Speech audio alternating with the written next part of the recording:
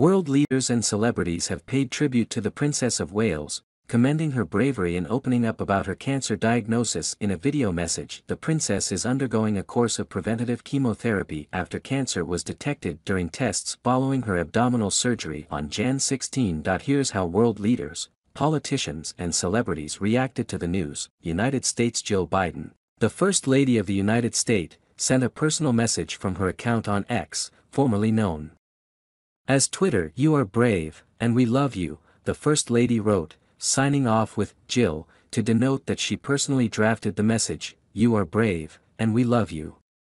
Jill https colon slash slash t.co slash xlt7ccsj poo, Jill Biden, at FLOTUS, March 22, 2024 Joe Biden spokeswoman also said the entire White House's thoughts are with the Duchess of Cambridge and that the president's team is incredibly sad to hear of the news of her cancer diagnosis. We just heard, obviously, all of us just heard the terrible news. Karine Jean-Pierre told reporters at the White House's daily press briefing, Our thoughts are with the Duchess of Cambridge and her family members and friends during this incredibly difficult time, and certainly we wish her full recovery, I think it's important that we respect their privacy, especially at this time, so I'm not going to go further than that. I know folks are going to ask if the president has spoken to her or the family. I can just say right now that we don't have anything to share at this time, but obviously we wish the Duchess of Cambridge a full recovery and we are incredibly sad to hear of the news.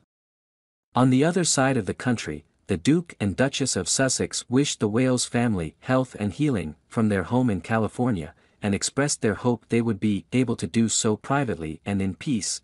Canada Canadian Prime Minister Justin Trudeau said his thoughts are with the Princess of Wales following the news of her cancer, which was so courageously shared. Mr. Trudeau wrote on X. My thoughts are with the Princess of Wales, her children, and the entire royal family.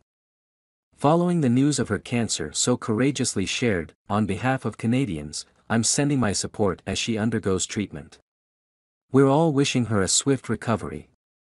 His opposition counterpart, Pierre Poilievre, the leader of the Canadian Conservative Party, said he was saddened by the news. I join with all Canadians in wishing her a speedy recovery, and her family support in a difficult time, he said, Australia and New Zealand Australian Prime Minister Anthony Albanese said his thoughts were with the Princess and her family, my thoughts, and those of Australians, are with the Princess of Wales and her family following the news of her cancer diagnosis. The Princess of Wales has shown extraordinary courage with her public statement today, in which she expresses her concern for others.